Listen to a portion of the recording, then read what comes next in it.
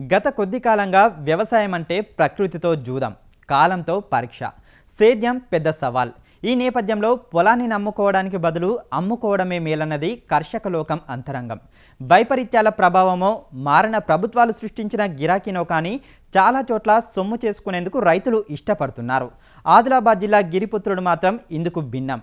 పోడు వ్యవసాయానికే పరిమితమైన తిరియాని రైతులు ఓ ఆదర్శ రైతు చూపిన బాటలో ఆలోచనలకు పదును పెట్టి సాగుపథం పట్టారు. కొండరాలలో దుక్కులు దున్ని మన్నుగా మార్చారు. నాపరాయిని నల్లరేగడిగా చేసి రతనాలు పండిస్తున్నారు. ఆదిలాబాద్ అంటేనే అడవుల జిల్లా. రాళ్ళగుట్టలు దట్టమైన అడవుల నడుమ సహజీవనం. సాగుయోగ్యం కాని భూములతో కలబడి చాలిచాలని పంటలతో సరిపెట్టుకోవడం ఇక్కడి గిరిపుత్రుల తీరు. మారిన వాతావరణం వల్ల జిల్లా సేద్యం కూడా జూదంగా మారింది. కాలం పెట్టే పరీక్షలకు తాళలేక ఉన్న భూమిని అమ్మి ఏదో ఒక వ్యాపారం లేదా పని చేసుకుందామనే ధోరణి రైతులది. తిరియాని మండలంలోని గుండాల రైతులు మాత్రం ఇందుకు భిన్నం. సోయం బొజ్జీరావు అనే విద్యావంతుడు చేసిన సాగు పదంలో మూడు వందల పదిహేను మంది రైతులు కదం తొక్కారు.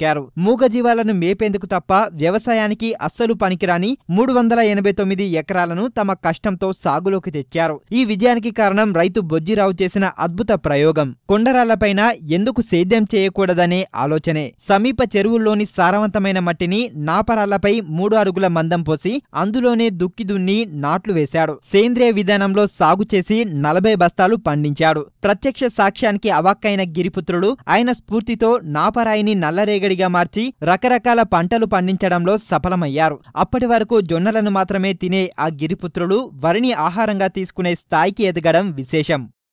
గ్రామంలో మొత్తం భూమి పన్నెండు వందల ఎకరాలు. దాని నుండి మూడు వందల ఇరవై ఆరు ఎకరాలు రాతి నేల అన్నట్టు. అది ఏ పంటకు పని చేయకుండా ఉండే భూమి. అలాంటి భూమిని పోయం బొజ్జిరావు అని ఆయన ఎంఎస్సీ ఎంఈడి వరకు చదువుకున్నాడు. ఆయన ఏం చేసిండంటే ఈ భూమి ఎట్లా అభివృద్ధి చేయాలనే ఉద్దేశంతోనే ఒక ఎకరంన్నర తీసుకుని దాంట్లో మా మైసమ్మ చెరువు అనే చెరువు ఉన్నది.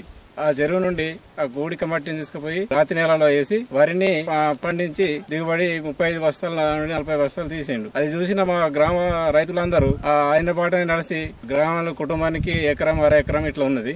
రైతులు కూడా వేసవి కాలంలో మట్టిని తీసుకుపోయి ఆ రాతి నేలలో వేసి ఈ వరిని పండించుడు చేసిండు. అంతకు ముందు మాకు ప్రధాన పంట ఈ జొన్ననే ఉండే. ఇప్పుడు వరి పండించి పండిస్తున్నాం. తమ పశువుల వ్యర్థాలనే చల్లుకుంటూ సేంద్రియ సాగులో సత్ఫలితాలు సాధిస్తున్నారు. వరితోనే సరిపెట్టకుండా వివిధ ఆహార పంటలను పండిస్తున్నారు. ఆశాజనక దిగుబడులు సాధిస్తోన్న గుండాల గ్రామానికి సరైన రోడ్డు రవాణా సౌకర్యం లేకపోవడం వల్ల దళారుల దెబ్బకు చితికిపోతున్నారు. కొత్త ప్రభుత్వమైన పండుగ కానుకగా తిరియాని మండలంలో మౌలిక వస్తువుల కల్పనపై దృష్టి సారించాలని రైతులు విజ్ఞప్తి చేస్తున్నారు. మాకు బుజ్రావు సరే అన్నతను హైదరాబాద్లో చదువుకుంటుండే అతని సహకారాలతో ఇతర రైతుల రైతులము కూడా అదే మే నెలలో చెరువు నుండి పూడిక తీసుకి తీసేసి పొలంలో వేసి మరియు ఎరువుల ఎరువు మేకల ఎరువు ఇలా వేయడం వల్ల మాకు పంట దిగుబడి చాలా బాగా వచ్చేది. అయితే వచ్చిన పంటను అమ్ముకోవాలంటే మాకు ఎటు తిరియాని వెళ్ళాలన్నా గుట్టల రోడ్డు ఉన్నది. దండపల్లి పోవాలన్నా గుట్టల బండల రోడ్డు. ఈ రోడ్డు సౌకర్యం లేక మాకు దళారుల వ్యవస్థ అక్కడ కింటోలకి పద్నాలుగు వందల రూపాయలు ఉంటే మాకు ఎనిమిది వందలు తొమ్మిది వందల రూపాయలతోటి తీసుకువెళ్తున్నారు. దీనివల్ల ఏంటంటే మేము చాలా నష్టపోతున్నాం. తెలంగాణ ప్రభుత్వం వచ్చినందుకు మా గుండాల గ్రామాన్ని దృష్టిలో పెట్టుకొని మాకు తగిన సౌకర్యం చేయగలరని కోరుచున్నాం. అక్షర జ్ఞానం లేని ఈ గిరిజన రైతులు వ్యవసాయపరంగా సొంత ఆలోచనతో ముందుకు సాగుతున్నారు. అయితే ఈ గ్రామంలోని చెరువుకు కాలువల అనుసంధానం లేకపోవడం సహా తాగు సాగునీటి వసతి విషయంలో తాము నానా ఇబ్బందులు పడుతున్నామని కర్షకులు వాపుతున్నారు. మరమ్మతులు లేక నీళ్ళు వృధా పోయి గొర్రెలకు పారి పోతుంది. దాన్ని మరమ్మతులు తూములు కాలువలు మరమ్మతులు చేయాలని అదేవిధంగా మన వాటర్ ట్యాంక్ ఉన్నది.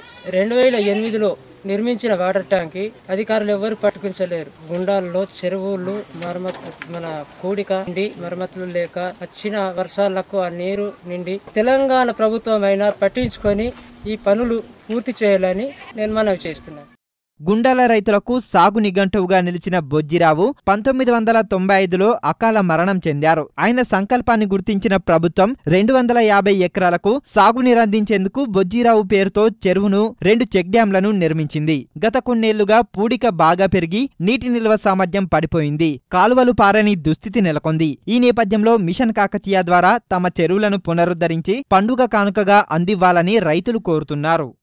ఇరవై ఏళ్ళ కింద చెరువు కట్టించారు. దీని కింద మూడు వందల ఎకరాలు వరి సాగు చేస్తున్నారు.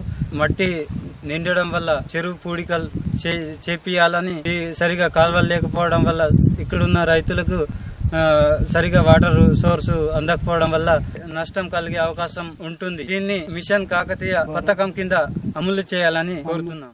గిరిపుత్రుల కుటుంబాల పట్టుదలను గుర్తించిన దాన్ ఫౌండేషన్ గుండాల గ్రామాన్ని దత్తత తీసుకుంది. రైతుల పురోగతి కోసం స్వయం ఉపాధి కార్యక్రమాలు చేపడుతుంది. రుణాల చెల్లింపులో గిరిజన రైతుల క్రమశిక్షణకు ఫిదా అయిన బ్యాంకర్లు రైతు సంఘాలను ఏర్పాటు చేసి వారిని ప్రోత్సహించడం ముదావహం.